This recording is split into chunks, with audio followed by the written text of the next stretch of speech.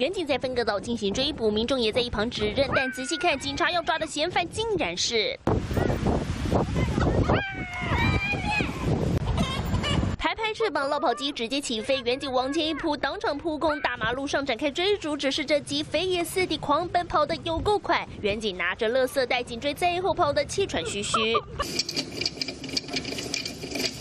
远景当街抓鸡，上演鸡飞警察跳，塑胶袋又不忘，通通派上用场。搞笑画面发生在台北和平西路一段，原来这只鸡在附近爬爬造好几个礼拜，民众发现它不时跑到路上，吓坏驾驶和骑士，赶紧通报警方围捕。是一下走出来，一下又走进去分隔岛，一下又又会跑出来，车子就会临时这样刹车，蛮危险。但是真的没有办法抓，它也是一直跑，一直跑，会飞。好，赶过去哦，过去了，过去，过去，过去。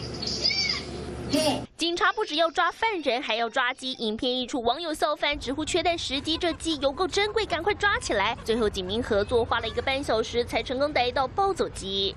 马上上网查功夫，抓鸡的诀窍是什么？马上查，马上查！谢谢线班。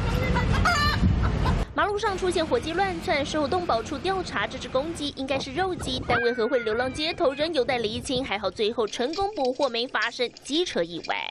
记者杨忠胜、张妹子采访到。我是王一中，新闻的产业带给我满满的使命感，不论是贴近民生的议题，或是国际的话题，我都能够精确、真实传达最完整的资讯给各位观众。当然，更多的新闻请锁定中视 YouTube 频道，记得按赞、订阅、分享，并开启小铃铛哦。